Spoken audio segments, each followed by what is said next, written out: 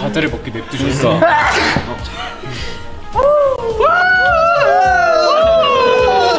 아 날라갈 날라갈 뻔했다. 고마워요. 고마워요. 와, unbelievable. 와, 기쁨의 기쁨의 세상이. 세레모니네. 네 이렇게 열심히 어, 그럴 수 있어, 그럴 수 있어. bless you. 긴장해서 그래, 긴장해서 그래요, 긴장해서. 원래 형이 기침 기침을 긴장하면 좀 하고. 네. 아 지금 긴장 많이 해갖고 아유 네 해주시다 네. 수빈이 형이 그 주목 알레르기가 있어서 모두가 수빈이 형을 주목하면은 맞아요. 되새기를 해요. 한번 맞아요, 주목해볼까요? 맞아요. 하나, 둘, 셋. 아유 안 되겠다.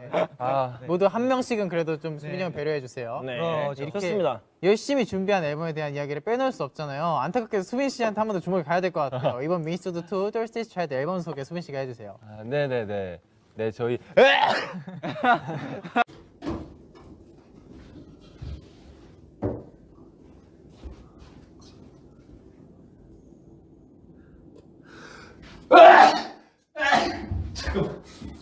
나못 껐어? 어 아직 안 껐어. 잠깐만.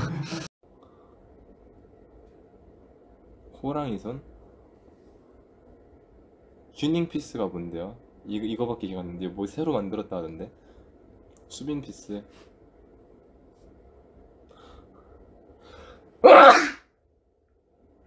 진짜 미안해요. 아 요즘 환절기인 거 알죠 여러분? 아.